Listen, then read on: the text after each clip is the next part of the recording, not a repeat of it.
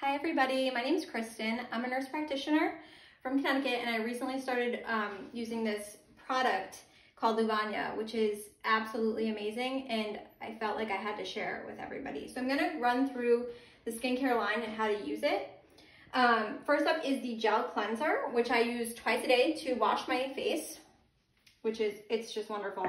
And then second step in the product line is the exfoliating elixir, which is an exfoliator it will help remove dead skin, acne scars, hyperpigmentation, fine lines, wrinkles. It helps to even out your skin tone.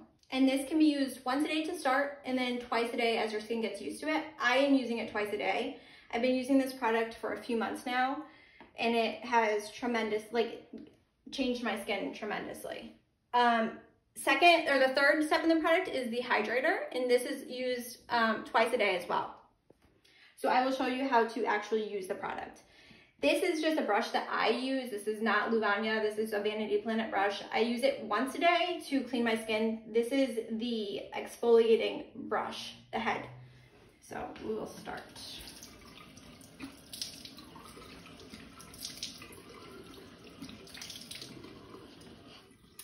So cleanser is, I use like one to two pumps in here.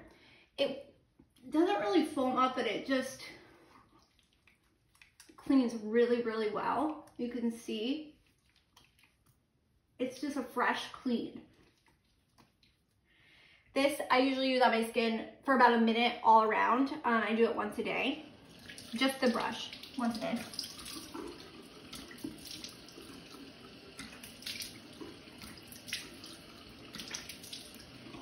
The second step is the elixir, the exfoliator, which truly does diminish fine lines, wrinkles, and acne scars. I had terrible hormonal acne around my jawline and like lip area, and this has changed my skin dramatically. I haven't had a breakout since I started using this. Mm, whatever, you can get kind of close to the under eye area. Obviously, you don't want to go in your eye. Then usually just let that soak in for a minute or two and then I apply the hydrator um, right on top of that. So this is step number three. And that's it. It's easy as that and everything is vegan, 100% cruelty-free. The company is doctor founded. It's just a wonderful family-owned business. And everything is just so nice. And there's no smell to anything. It's it's just fresh